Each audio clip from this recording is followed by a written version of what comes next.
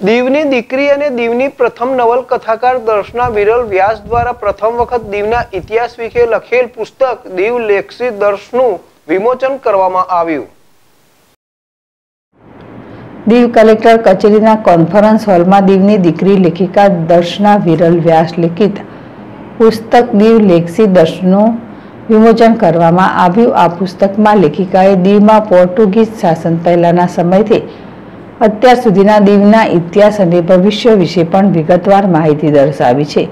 નોંધનીય છે કે દીવ જિલ્લા કલેક્ટર ફોરમન બ્રહ્મા, અધિક જિલ્લા મેજિસ્ટ્રેટ ડોક્ટર વિવેક કુમાર સાથે પદ્મશ્રી પ્રેમજીત બારિયા, સરકારી પોલિટેકનિકના આચાર્ય ગજવાણી જિલ્લા શિક્ષણ અધિકારી આર કે સિંઘ, કલેક્ટર કચેરીના અધિક્ષક ડીબી આહિર, જિલ્લા માહિતી વિજ્ઞાન અધિકારી જયેશ ધંધુકિયાએ લેખિકા દર્શના વિરલ વ્યાસ લિખિત પુસ્તક દીર લેખસી દર્શનો, લેખિકાના માતા પિતા કુટુંબીજન, શિક્ષકો, મિત્રો અને કલેક્ટર કચેરીના તમામ અધિકારીઓ, કર્મચારીઓની ઉપસ્થિતિમાં વિમોચન કરવામાં આવ્યું હતું.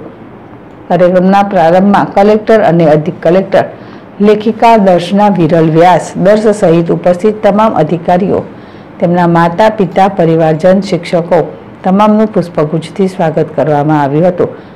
ત્યારબાદ લેખિકાના બહેન નૂતન વ્યાસે લેખિકા દર્શના વિરલ વ્યાસ દર્શનો સાહિત્યક પરિચય આપ્યો અને તેમની સાહિત્યિક સિદ્ધિઓ અને મળેલા પુરસ્કારો પર પ્રકાશ પાડ્યો હતો.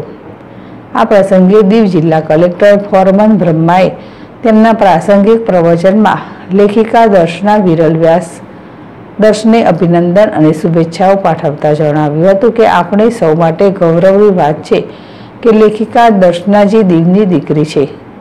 અને તેણે પ્રથમ વખત દીવના ઇતિહાસ વિશે લખ્યું છે.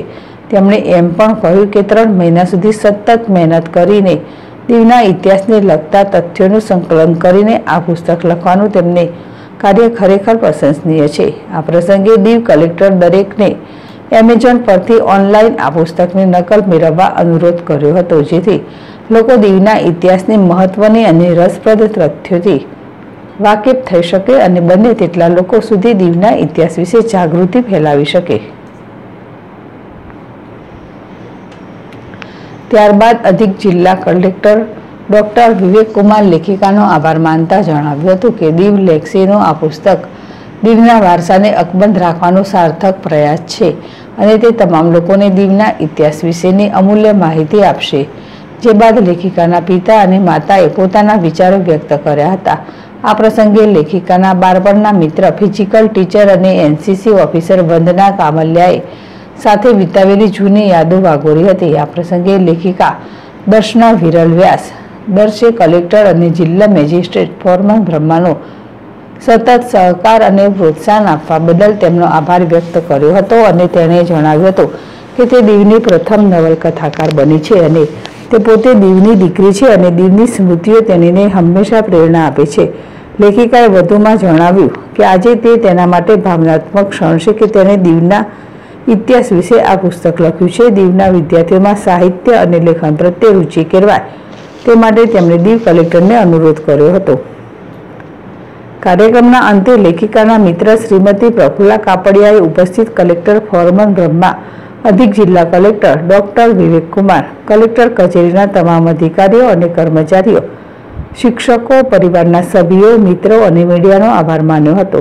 આ કાર્યક્રમને સફળ બનાવવા માટે પોતાની ભાગીદારી નોંધાવવા બદલ સૌનો આભાર વ્યક્ત કર્યો હતો. મીનાક્ષી ગઢવી, જેડેશ TV, Diu.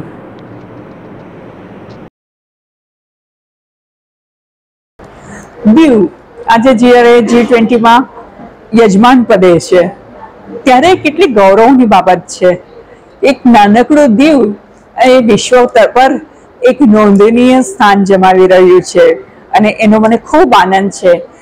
Diu G twenty દ્વારા વિશ્વના અનેક લોકો અહીંયા જ્યારે આવશે, ત્યારે એક સ્માર્ટ સિટી તરફ વધી રહેલા આપણા નગરને જોઈ અને ખૂબ આનંદ પામશે. દીવ એ જી ટ્વેન્ટીનું આયોજન કરે છે અને એમાં જે આપણું પ્રશાસન મદદરૂપ થઈ રહ્યું છે, પ્રશાસનની દિવસ રાતની જે મહેનત છે, એ આપણા દીવને એક ઉચ્ચતમ ઓળખ આપશે, તેનો મને વિશ્વાસ છે.